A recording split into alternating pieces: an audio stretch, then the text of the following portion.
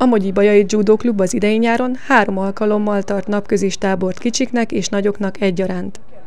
A résztvevők nagy részét az Egyesület versenyzői adják, de sokan jöttek külsősként is az edzőterembe. Az Egyesület reggeltől délutánig változatos programokkal készült a gyerekeknek. A kicsik délelőtt többnyire a sportág alapjaival ismerkedhetnek meg, míg a nagyobbaknak már technikai edzéseket tart Andrási Barna edző.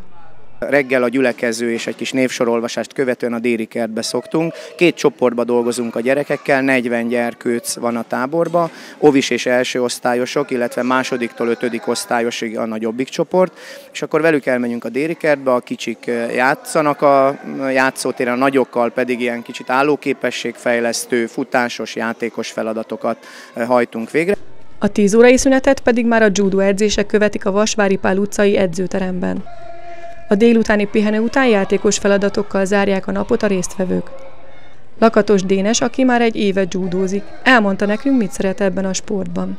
Szeretek küzdeni, szeretek nyerni, a veszteséget is elfogadom azért, de inkább nyerek, és tetszik ez, hogy a szőnyeg is puhább, meg tetszik.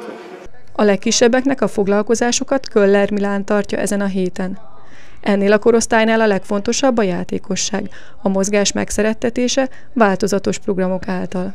Judozzunk, elmegyünk a déli kertbe minden nap, valamikor focizni megyünk, megyünk a vonatkertbe minden nap, és ebédelünk. Az edzők sokféle feladattal készülnek, például labdás, küzdő és ügyességi játékokkal, amelyek során az ovisok akár vajaskenyerek, sült krumplik és sajtburgerek is lehetnek képzeletben. A tábor során mindenki megtalálta a testhez álló elfoglaltságot. A játékok, amiket tudunk játszani, ami még nem annyira régi. Az edzők még két további tábor tartanak, amelyre várják a klub sportolóit és a cselgáncs iránt érdeklődő gyerekeket egyaránt.